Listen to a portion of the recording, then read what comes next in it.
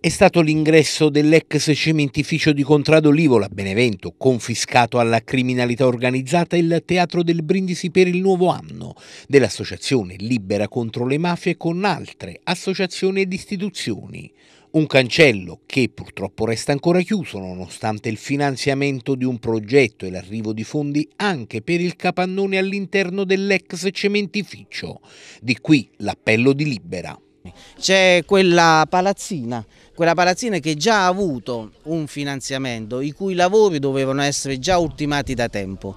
Eh, noi più volte abbiamo sollecitato e quando diciamo noi, diciamo noi per il bene della comunità, non per un utilizzo da parte di Libera, assolutamente noi non abbiamo nessun interesse. Da poco eh, è stato appunto pubblicato l'esito positivo del finanziamento di 2 milioni e mezzo, la finalità dovrebbe essere quella di un incubatore aziendale, diventerà un cementificio di idee. Un bene confiscato deve quindi tornare quanto prima nella disponibilità della collettività il monito di Martino. Allora brindare al bene significa innanzitutto brindare al bene del nostro territorio, al bene delle nostre famiglie, al bene dei nostri giovani e poi brindare anche al bene di questo bene, e cioè vale a dire affinché possa essere al più presto eh, riutilizzato dalla società e dalle istituzioni.